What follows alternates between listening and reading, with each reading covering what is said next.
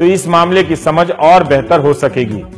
चार विधानसभा का कार्यकाल पूरा हो गया और तीन हज़ार प्रश्नों के जवाब नहीं मिले ये सामान्य खबर नहीं है। हो सकता है कि अब इन प्रश्नों की प्रासंगिकता ना रही हो मगर यह भी तो हो सकता है कि उनमें से कई प्रश्न आज भी जवाब का इंतज़ार कर रहे हो और जिन सवाल को जिन हालात को लेकर पूछे गए हों उनमें कोई सुधार नहीं आया हो। बिहार को समाप्त किया है। की बार चौदहवें विधानसभा में भी मेरे व्यक्तिगत अकेले गोविंद सिंह डोटासरा के जो प्रश्न पूछे गए थे, उनमें से चौवालीस क्वेश्चनों को एग्रा कर दिया गया है, जो बाद में जाकर के ड्रॉप कर दिए जाएँगे।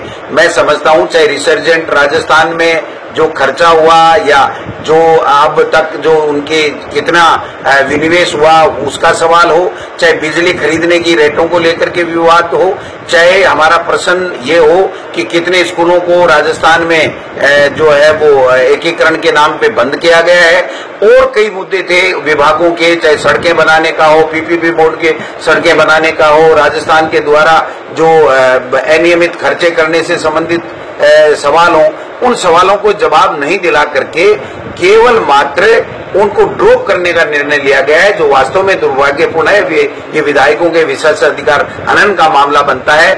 ये चाहिए था राजस्थान के विधानसभा अध्यक्ष जी को कि सरकार के जिन अधिकारियों ने, जिन विभाग के उच्च अधिकारियों ने जवाब नहीं दिए समय पर उनके खिलाफ कार्रवाई करनी चाहिए थी। न कि विशेषाधिकार, जो क्वेश्चन पूछने का विधायिका था, उसी को समाप्त कर दिया गया। ये गलत परंपरा डाली गई है।